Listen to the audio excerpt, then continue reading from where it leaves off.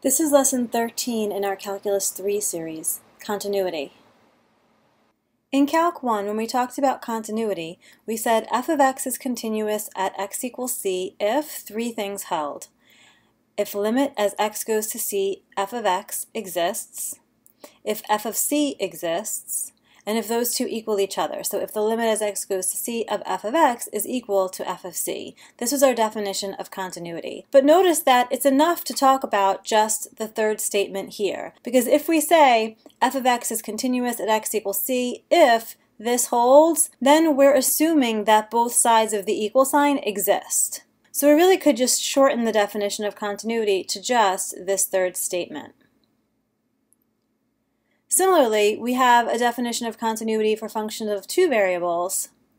For z equals f of xy, we say f is continuous at the point ab if the limit as xy goes to ab of f of xy is equal to f of ab. So again, this is assuming that both sides exist. This limit must exist, and this function evaluation must exist.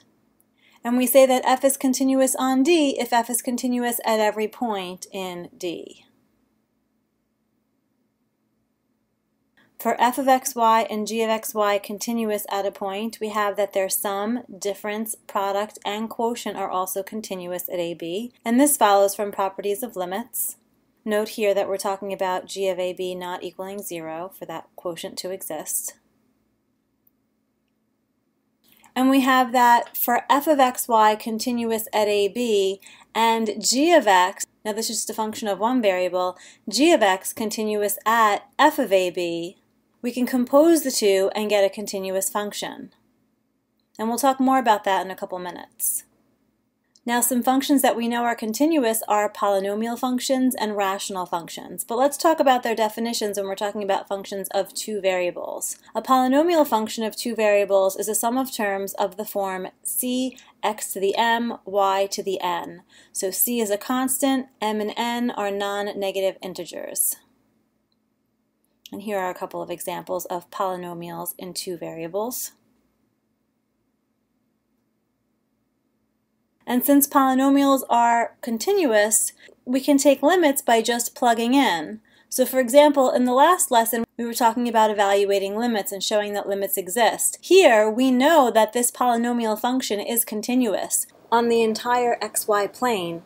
So this limit must be the same as what we get by plugging in 2 comma negative 3 to this function. Right? This must be the same as f of 2 comma negative 3, which we get is negative 50. A rational function of two variables is of the form p of xy over q of xy, where these are both polynomials, and this is defined again where q is not equal to 0.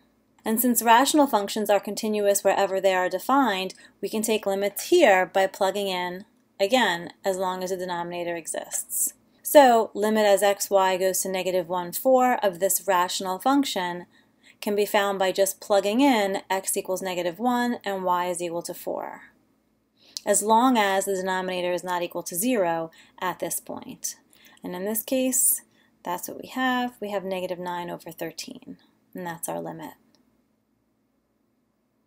Let's go back to the compositions we were talking about earlier.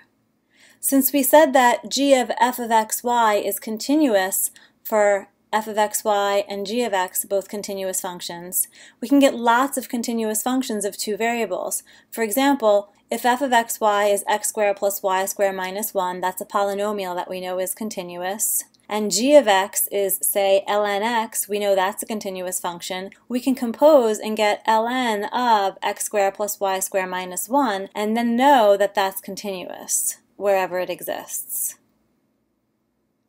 Another example, we could take f of xy to be 2x squared y plus 3, another polynomial that we know must be continuous, and g of x equals e to the x. This is a continuous function.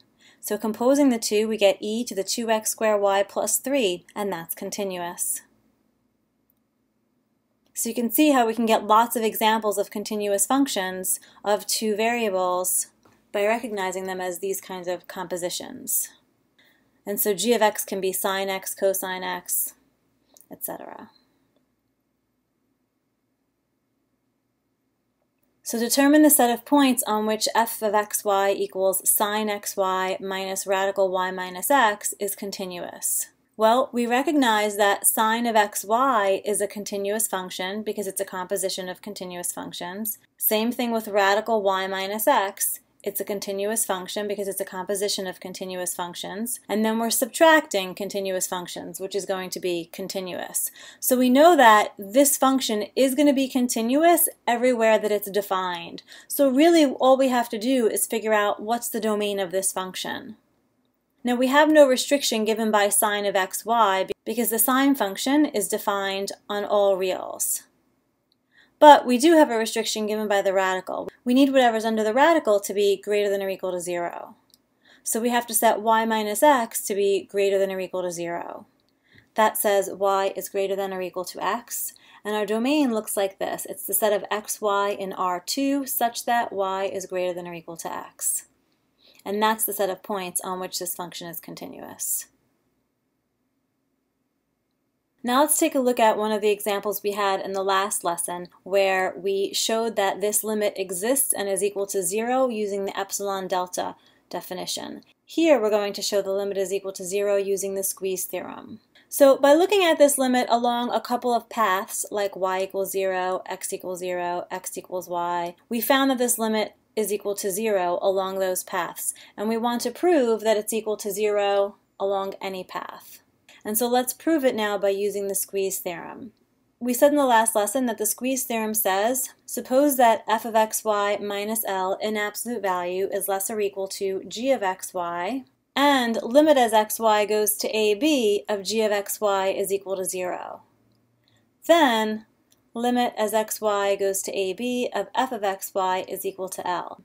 So let's take a look at how this applies in this particular case. So our function f of xy is 2xy squared over x squared plus y squared. Our limit L is equal to 0, so that doesn't show up here. And the squeeze theorem is saying if we could show that this in absolute value is less or equal to some function g of xy, for which we know the limit as xy goes to 0, 0 of g of xy is equal to 0, then we'll know that the limit we're looking for is also equal to 0.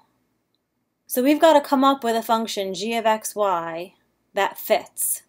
In other words, a function for which this is less or equal to g of xy, and limit as xy goes to 0, 0 of g of xy is equal to 0. And the key here is to make use of what we know about continuous functions. Because if we could set up g of xy to be some continuous function that we know, like maybe a polynomial or some composition with a polynomial, then we'll be able to find this limit by just plugging in. And that's the key here. So let's start with our expression in absolute value here, 2xy squared over x squared plus y squared. And let's see if we could find this less or equal to a function that we know is continuous. Well, we could bring these absolute value bars in just to the x, since the 2, the y square, and the x squared plus y square are all positive terms. And now since y square is less or equal to x squared plus y square, we know that this quotient, y squared over x squared plus y squared is less or equal to 1. So now we're here, less or equal to 2 absolute x. And we know that the absolute value function is a continuous function. So if we let g of xy be 2 absolute x, we have a continuous function here. We know that our expression in absolute value is less or equal to it, so we're good so far. And now we can show that the limit is equal to 0 as xy goes to 0, 0 by just plugging in. Limit as xy goes to 0, 0 of g of xy is just g of 0, 0 because we know it's continuous function. And what's g of 0, 0? It's 2 absolute value of 0, which is 0. And so we found a g of xy to fit the squeeze theorem for this limit. We found g of xy equals 2 absolute x. We found our f of xy minus L in absolute value to be less than that. And we found the limit as xy goes to 0, 0 of g of xy is equal to 0. Therefore, by the squeeze theorem, our limit is also equal to zero. And we'll conclude our lesson on continuity here.